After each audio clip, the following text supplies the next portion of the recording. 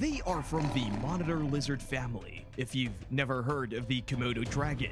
They are primarily found on the Indonesian islands and are the largest extant lizard species. For emphasis, the Komodo dragon grows up to 3 meters and can weigh up to 70 kilograms. As a result of their size and height, the Komodo dragons control the ecosystem they are endemic to.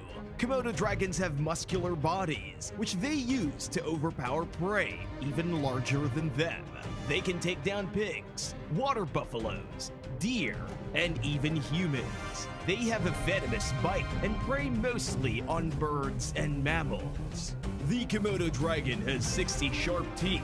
They use the force of their power to bite all 60 into flesh. The lizards eat by tearing large chunks of the flesh and swallowing whole.